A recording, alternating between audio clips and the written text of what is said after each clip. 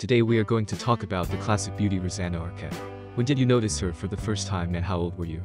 Let me know in the comments section. Let me tell you a few interesting trivial facts about her. Will you enjoy these gorgeous photos?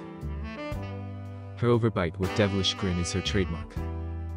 In 2010, Rosanna Arquette was named the Womanity Foundation's Goodwill Ambassador. In October 2017, she and over 80 other women accused Harvey Weinstein of sexual abuse. She is the only one of her five siblings who has never appeared in a major horror film series. At least one of her siblings has appeared in Nightmare on Elm Street, Children of the Corn, Child's Play, and Scream. The song Rosanna written and performed by Toto immortalized her. Rosanna went on to win three Grammys for 1982. Record of the Year, Best Pop Vocal Performance, and Best Instrumental Arrangement with Vocal. She was the girlfriend of Steve Porcaro, a member of the band. Rosanna Arquette once said, I'm a wreck. I get hurt very easily. I don't have a tough show. I'm so insecure, it's pretty stupid for me to be in this business, isn't it?